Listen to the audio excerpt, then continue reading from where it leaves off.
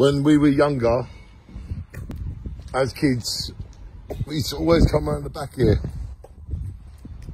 on our push bikes, racing around. Me, Butch, Jason, Richard, all of the old crew. We used to come here, and that leads to that road.